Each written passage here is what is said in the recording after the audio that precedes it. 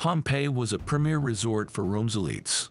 Pompeii was a prosperous city, but everything was buried under volcanic ash. What does Pompeii hide under the ash?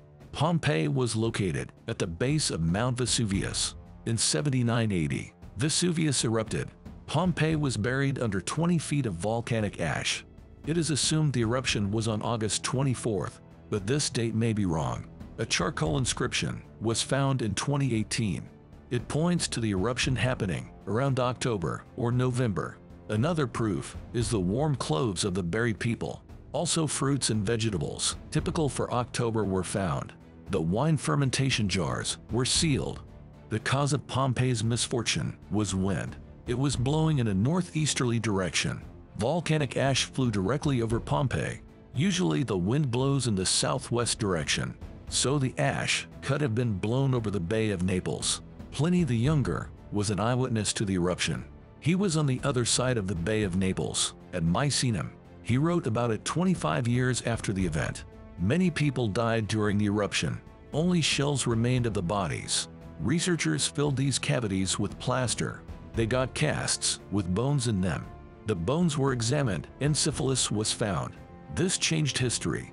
It was believed the Spanish brought syphilis from America in the 1400s but it existed in Europe more than 1,000 years earlier. Pompeii stayed untouched for almost 2,000 years.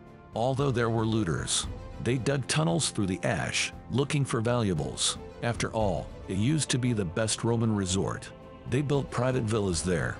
Pompeii was a sin city. About 250 adult-themed artifacts have been found.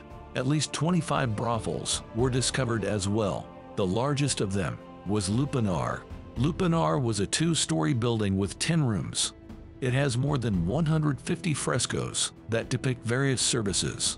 In Pompeii, the goddess of love Venus was worshipped, but the Isis cult was also popular.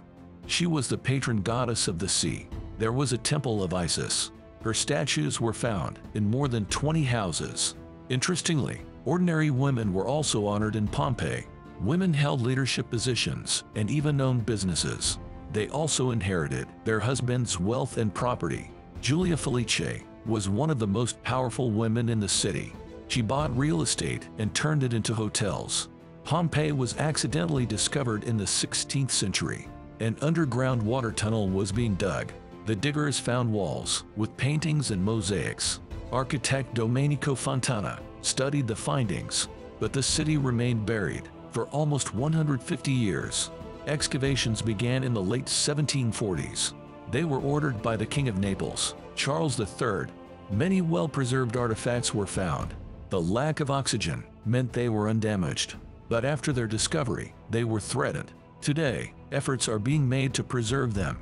The World Monuments Fund included Pompeii in the Monuments Watch list, but Pompeii could be placed on the list of World Heritage in danger